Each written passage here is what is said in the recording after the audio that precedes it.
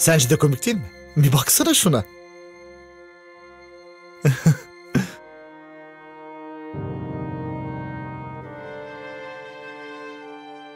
Şeri. Bir bakar mısın? Bir saniye. Ne oldu? Bak e, bugün moralim çok bozuk. Yine mi? Yeni bir şey söyle. Bıktım artık. E, yapma lütfen. Gerçekten çok kötü gün geçirdim. Yani? Yani ne? Konuşup güldüğün kız kimdi senin? O mu? Evet o. Ee, ismi Sara. Zavallı kız daha yeni. Ve bu arada kızla gülüşmüyordum. E sadece ona rehberlik ediyordum. E, tabii. E, üniversitede rehberlik edecek tek sen vardın. Hem neden zavallı kız oluyor? Hadi ama Şernaz, biz onun üst sınıfıyız. Benimle bu konuda tartışacak mısın? Tartışmıyorum. Sana bir şey anlatmak istiyorum. Hadi gel bir şeyler yiyelim. E, dışarı çıkalım. Kafeteryada yiyelim. Hayır, orası olmaz. Aa, e şimdi mi? E, yo, birkaç gün sonra. Beni de anla Şernaz. Dersin başlamak üzere. Peki o zaman. Eğer şu an benimle gelmezsen sana bir daha burada ders vermeye başlayacağım. Tamam, Hadi. hadi.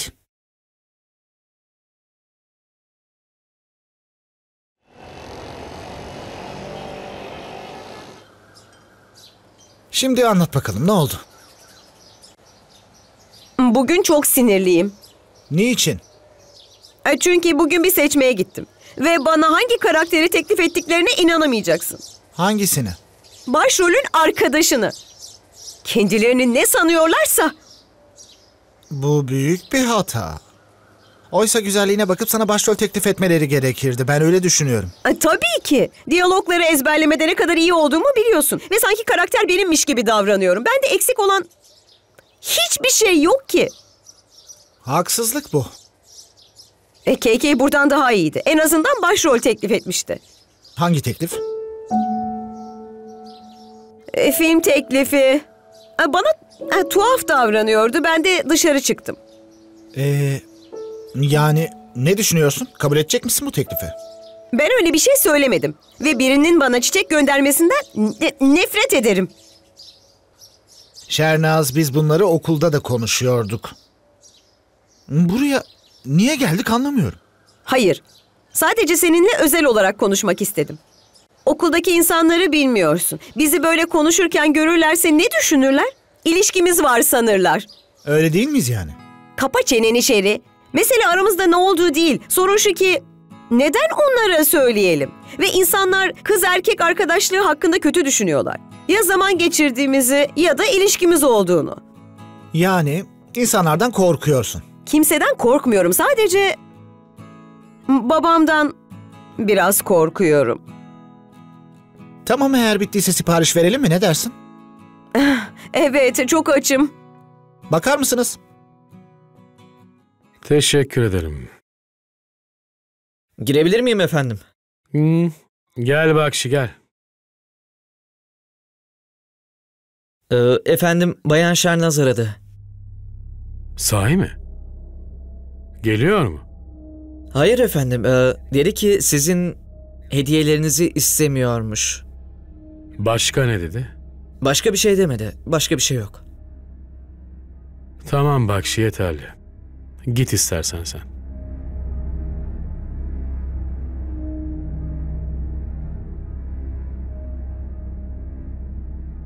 Bazen özellikle de e, film sektöründe kendi kendine mücadele ederek e, bir şeyler başarmanın e, çok zor olduğunu sanıyorum. Kim sana bu kadar zor bir şeyi seçmeni söyledi? Okulunu bitir ve başka bir şey yap. Ne bileyim ben. Bir şeyin zor olması, mücadele etmeden yenilmeyi kabul etmemiz gerektiği anlamına gelmez. Hayatımı bir meydan okuma gibi yaşamak istiyorum. Sıradan bir hayat yaşamak istemiyorum. Yemek servisi yapmak için gelen garsonu örnek alalım. Eğer e, geleceğini düşünmüyorsa hayatı boyunca bu işi yapacak. Müşterilerden sipariş almaya devam edecek. E bir düşünsene, kendisi de bir müşteri olabilir. Felsefeni bitirdiysen yemeğimizi yiyip gidelim mi? Lütfen hadi. Lütfen. Tamam. Teşekkürler.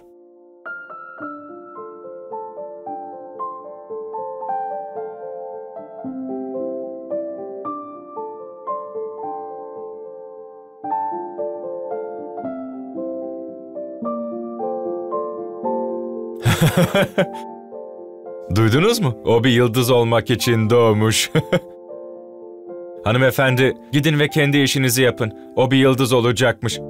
Hadi bakalım. Bir sonraki kızı da gönder. O da yıldız olmaya gelmiştir, öyle değil mi? Her biri aynı hikaye. Prenses, şov dünyası çok garip bir dünya. Bazı bedeller ödemek gerekir. Çok ama çok basit bir durum prenses. Senin bu filme ihtiyacın var, benim de sana.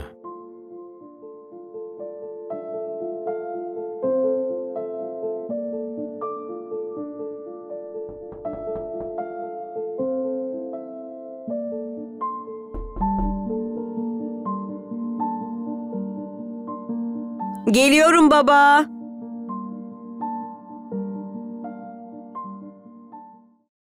Hoş geldin. Hoş bulduk kızım. Neredeydin? Bayağıdır seni bekliyorum. Neden telefonun kapalı? Telefonumun şarjı bitmiş kızım. Neyse eve geldin artık. Sana bir su getireyim. Baba? Baba? E, ne oldu baba? Niye üzgünsün? E, bana bak. Birisi sana bir şey mi söyledi? Hayır prensesim. Midem biraz değişik. Düzelirim birazdan. Nasıl değişik hissediyorsun? E, bana söylemediğin başka bir şey var. Öyle değil mi?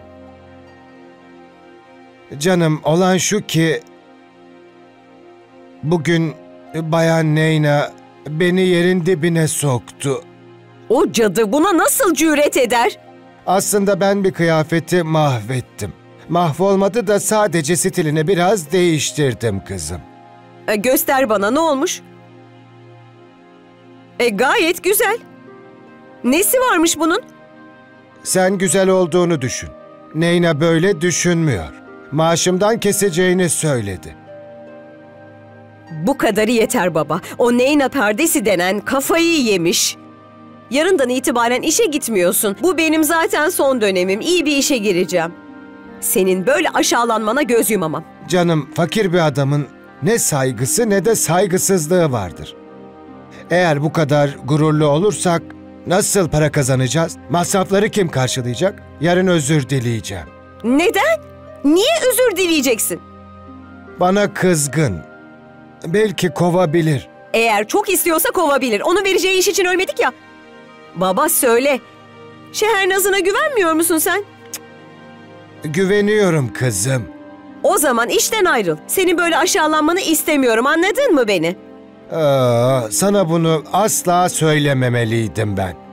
Bırak gururunu, bize bir şey kazandırmaz. Hata bende. Neden en başında sana söyledim ki bunu? Sürekli sinirlisin. Şeri de böyle söylüyor. Kim?